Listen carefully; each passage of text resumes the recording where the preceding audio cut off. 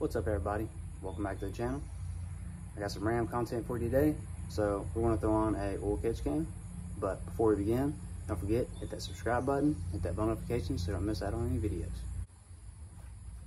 All right, so the catch can we're going to put on, got this blue one right here from UPR Products. And I actually had to contact them once I got this in because I was missing a part. So part I was missing was the plug for the bottom because I didn't uh, I didn't want to get the uh, the drain line or the kit or whatever it is that they have. So I just wanted the plug, but unfortunately they didn't have it in the box. But I contacted them and they sent it to me ASAP. So now I'm gonna get this thing installed.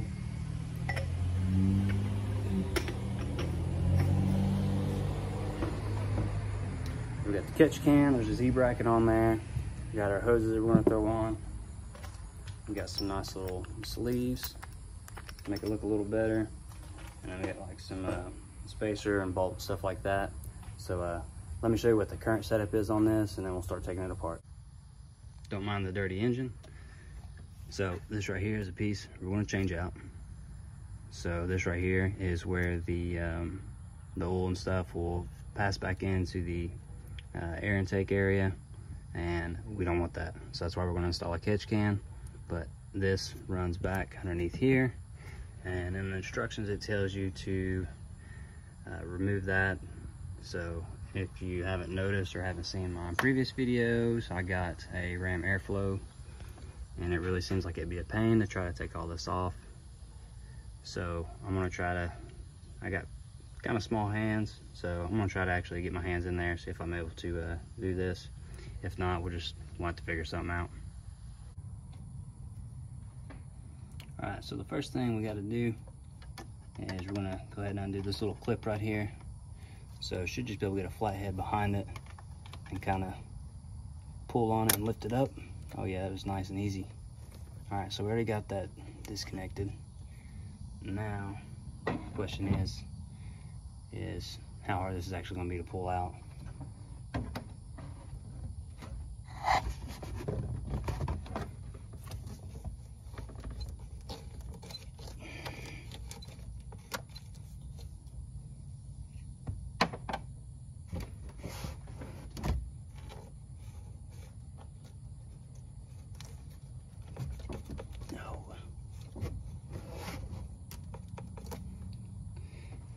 Oh lordy, I think she's in there.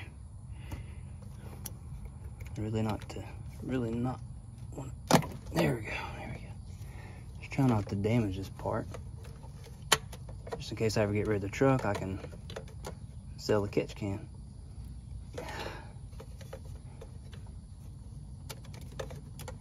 see if I can just twist this to kind of break it loose some.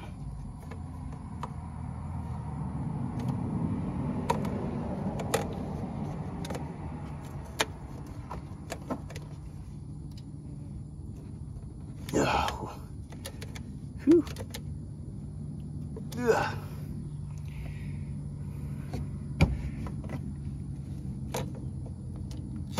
There we go. All right, so I was able to get the part out, as you can see right here, this little piece. And I was able to get it out without actually taking off the cover. So uh, I think I saved a little bit of time there, especially since I got this ram airflow on there. All right, so I went ahead and actually took the catch can apart and I got my bolt with my spacer. So we're gonna install this bolt is right down here.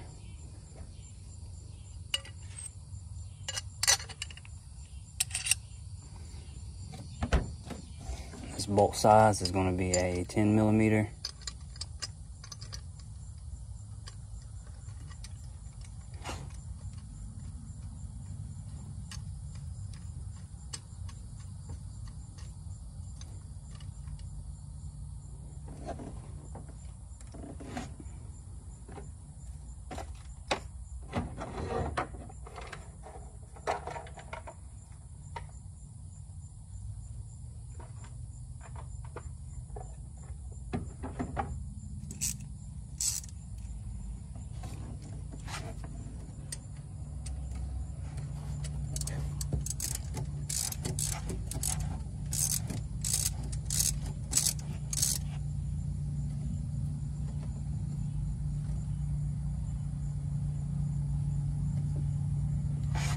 I'm gonna kind of position the can a little bit.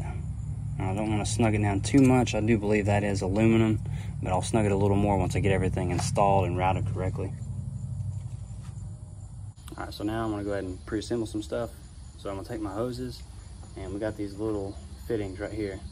So part of it's gonna go into the hose itself.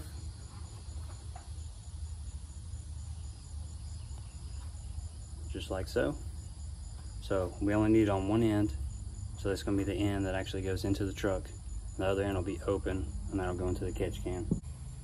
Also, another important thing, before you install this in, if you have these sleeves like this, you have to put those on. Because once once you install this stuff, you're gonna have to destroy the rubber and the hoses to get the thing back off. And ask me how I know, I've been through it before. Alright, so bear with me because this is, I'm leaning way over the truck right now trying to do all this at once.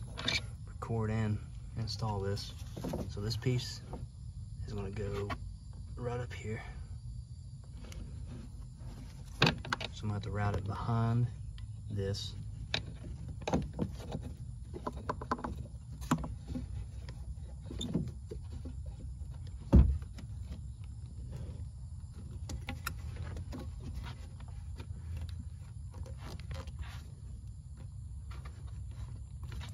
There we go. That's pretty easy.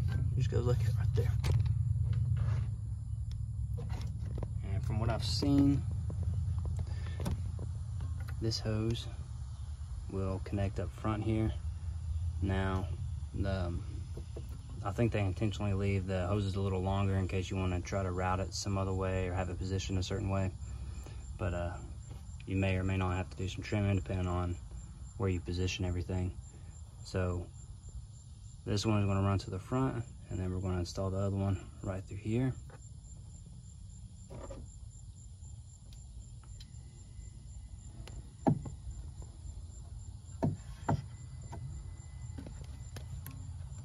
Alright. Nice and easy. So there's that one. Alright, so I went ahead and trimmed my hoses. So first thing I'm going to do is install the back one. I don't forget to throw your little sleeve on there if you have it.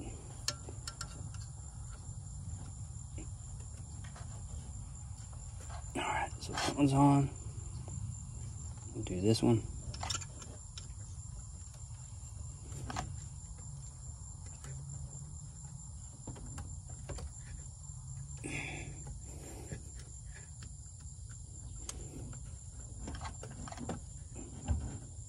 Alright, looks like a nice little fit. And where this little clip was, I just kind of set this in there. I mean, of course it won't clip over because the hose is bigger, but it'll kind of at least, at least, at least hold it there a little bit. All right, so only thing we have left is installing this little plug in the bottom here. Throw that baby on there. We'll kind of snug her down just a little bit. Should be good right there. Now, if you have the drain line, I'm not actually sure where you're supposed to route that. I'm sure if you look on uh, UPR's website, I believe they have some uh, PDF instructions you can download and look at. All right, so I wanted to wait until daylight, that way so y'all could see it really well. Starting to get dark last night, but that's what it looks like installed. And it's, it's not too difficult to put on. So what I'm gonna do now is I'm probably gonna take and I'll probably drive it for about a week and then I'm going to check and see how much it's collected and then probably after that I'll check in the next 500 miles or I'll if I do like a road trip or something I'll check it then. But that's gonna do it for today's video. I'll catch you on the next one